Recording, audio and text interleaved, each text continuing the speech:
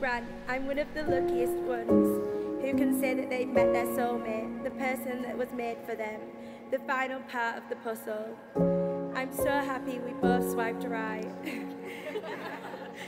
I can't wait to spend the rest of my life with my best friend. You're such a beautiful person, inside and out, and I've never met someone so caring, so loving, and inspiring.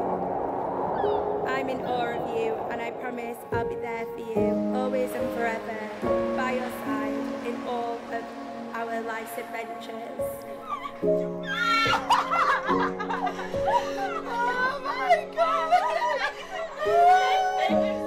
Jordanna, from the second I met you, I knew that you were the one for me.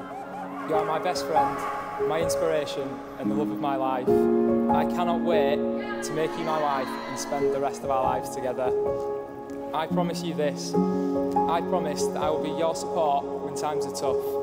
I promise to make you smile when you are sad. I promise to be your number one fan when you succeed. I promise to be by your side in good times and in bad.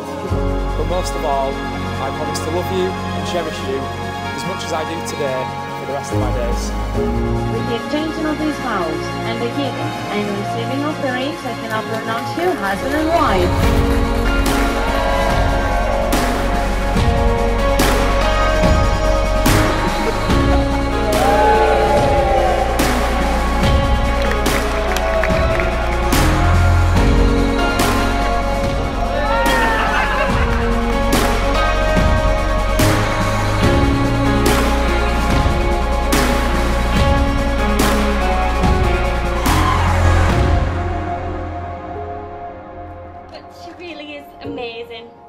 She's one of the strongest people I know.